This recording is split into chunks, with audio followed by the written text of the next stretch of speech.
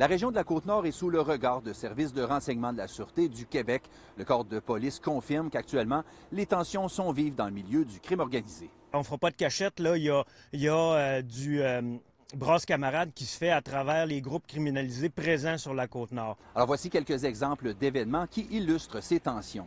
Il y a quelques semaines, à Chute aux Outardes, des coups de feu ont été tirés sur des bâtiments lors de deux événements distincts.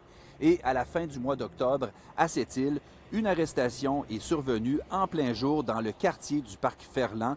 Plusieurs autopatrouilles ont encerclé une automobile dans laquelle se trouvaient deux individus et pendant de longues minutes, des policiers ont braqué leur âme vers eux sous les yeux parfois stupéfaits de témoins. Alors, des groupes criminels, dont certains membres proviennent de l'extérieur de la région, se livrent actuellement à des gestes d'intimidation. La Sûreté du Québec, qui a constaté cette montée de tension au cours des derniers mois, indique qu'il n'y a pas eu de victimes innocentes dans le cadre de ces conflits. Il n'y aurait pas eu d'autres coups de feu sur euh, la Côte-Nord, mis à part les deux événements à Chute-aux-Outardes.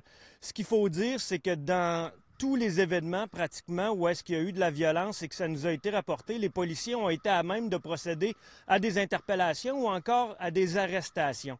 Des équipes spécialisées dans le crime organisé se sont déplacées sur la côte nord au cours des dernières semaines. Des enquêteurs ont pu renouveler leur album photo et aussi faire sentir la présence du corps policier chez les criminels. Des équipes euh, de renseignement se sont présentées dans certains établissements licenciés.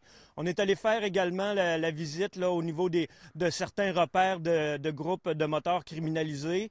Euh, oui, effectivement, on peut faire appel à des, euh, à des services plus spécialisés que la patrouille pour justement dénouer ce qui se passe présentement. La Sûreté du Québec n'est pas en mesure d'indiquer le nombre d'arrestations effectuées et le nombre d'événements violents survenus au cours des derniers mois sur la côte nord impliquant des individus liés au trafic de la drogue.